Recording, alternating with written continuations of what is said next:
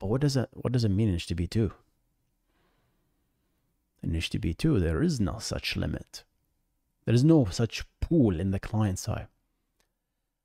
There is a maximum concurrent stream that can be negotiated between the server and the client. The server say, hey, here's the maximum number of concurrent streams. I.e., if you have, this is how many streams can be open at a given time, which kind of, you can think of it as stream as a request in HTTP 2 in this particular case. It's, it's the same.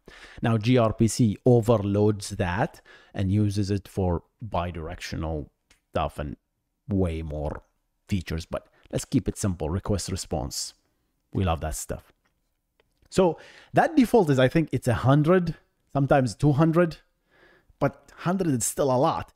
So that is why if you ever run into this problem before, I mean, when when HTTP got popular, the moment you switch HTTP2 it's just a bit that say, hey, server now supports HTTP2. You just advertise that in your uh, ALPN during TLS.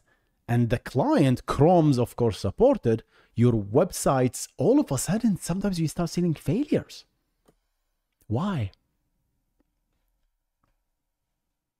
Because the client will just send request. There is no pool anymore. There's just, oh, I can send a hundred requests.